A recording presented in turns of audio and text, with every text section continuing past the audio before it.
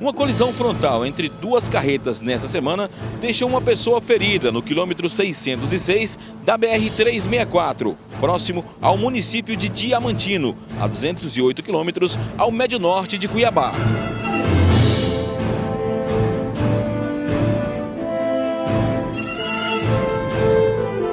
De acordo com informações da concessionária Rota do Oeste, o acidente ocorreu por volta de 9 horas e 50 da manhã. As carretas pegaram fogo logo após baterem de frente.